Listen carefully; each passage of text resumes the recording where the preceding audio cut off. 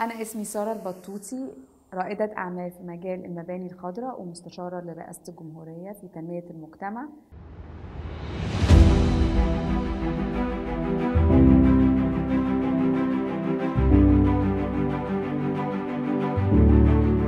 إن عدد السكان اللي هيسكن في المدن هيزيد من تقريبا آه، 50% ل 66% في خلال ال 20 سنة اللي جايين. المدن الخضراء مدن هدفها الاستراتيجي جودة الحياة. انتظروني في خدمة سوق مصر.